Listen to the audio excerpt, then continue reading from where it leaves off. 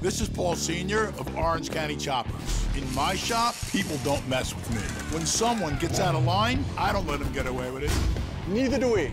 After a motorcycle crash, the insurance companies know Geoff McDonald and Associates doesn't back down.